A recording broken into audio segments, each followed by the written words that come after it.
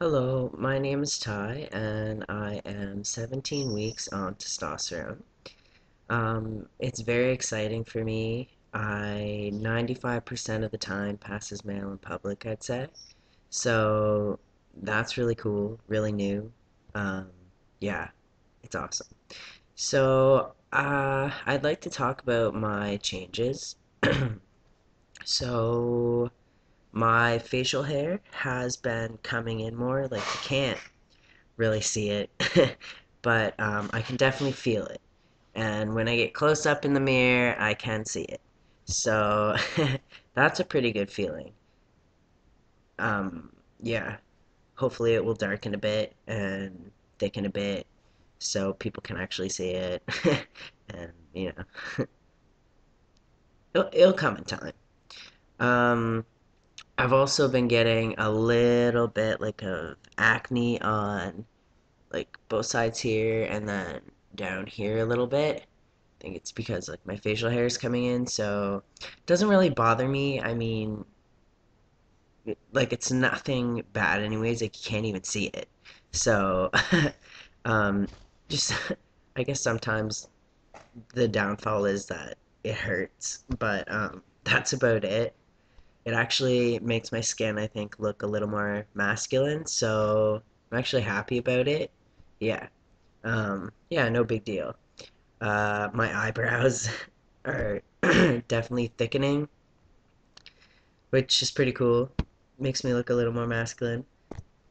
Um, I'm getting a little bit more uh, arm hair and hair on my stomach, hair on my legs, on my thighs. Uh, yeah, that's about it.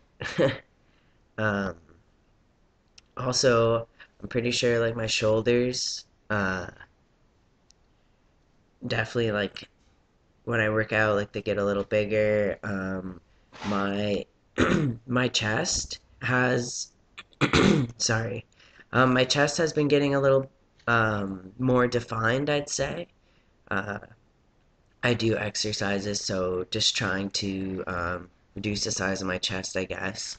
So basically, before my chest used to be more, um, I guess, like up, like, and there's my dog. Um, but now I find when my muscle's growing, it's kind of pushing the upper part of my chest down and making the upper part of my chest more flat. which definitely helps with my dysphoria because, um, yeah, I haven't had chest surgery, and um, I guess as I keep changing with testosterone, um, I get a little bit more dysphoric about my chest, just because, like, I am passing, yet still I have this chest on me that, um, I just, yeah, I guess I feel like I need to hide it more in a way. But I've always felt like that, so I mean, it's not really changed, but um, I just think I have more of those dysphoric days where I notice that it's still there, and you know, I have to pick my clothes differently, and honestly, like I just can't wait until I get my chest surgery. It's taking longer than I expected for the doctors to sort everything out, so that's a real big blow. I thought I'd have it off by the next term, and I'm not saying that I won't, but it's not looking the greatest. So, uh, I mean, I'm still hoping. I'm still hoping. Um, yeah, just um, I wanted to update because I haven't made a video in so long, and yeah, like I'd like it if anyone had questions for me, um, that they'd come forth and ask because it would make me talk about my transition a little more anyways, which, you know, I definitely don't mind. I'm very open. Um, the things I've been doing in terms of trying to involve myself more in my transition and kind of get out there and educate people. Um, I wrote a trans article for the Wellness Center at my school, and I am very excited for it to come out. Um, you know, like I got to put some examples from there, oh, in the article from my life that have affected me. Um, I'll use the examples of the washroom, I guess, because I mean, it's uh, pretty clear that um, male and female washrooms are not very ideal for someone who is going through transition because I mean, you're kind of at an in between stage in transition. Well, I feel that um, people might perceive me as being um, still like either female or male. It's getting better now with my voice. Um, so I definitely feel more comfortable using the male washroom than the female washroom now. But um, before I started testosterone, um, I really wanted to go in the male washroom, and I did but um, there would be some places or I guess some moments where I would feel uncomfortable or even threatened to be in the male washroom. So, uh, yeah, I'm glad that's changed a bit. um, also, uh, I wanted to just put this out there for trans masculine um, individuals who might be interested in helping a fellow trans man out. Um, Skylar, he has been making YouTube videos for, I guess, as long as I've, well, maybe like four years ago. Yeah, four years ago, I guess, because yeah, that's when I started watching his videos. Um, but now he is doing a project on rehumanizing the trans community, and I think it is so freaking cool. Um, I'm participating in it. I am so excited. He basically wants um, trans masculine identified individuals um, to take pictures of their life and normalize the community and also like just like write little blurbs about whatever you take a picture of. And honestly, I just am so excited to get started and start planning my pictures. It's going to be an amazing experience for me because I get to. It's a project that will help me embrace what I'm going through and embrace who I am.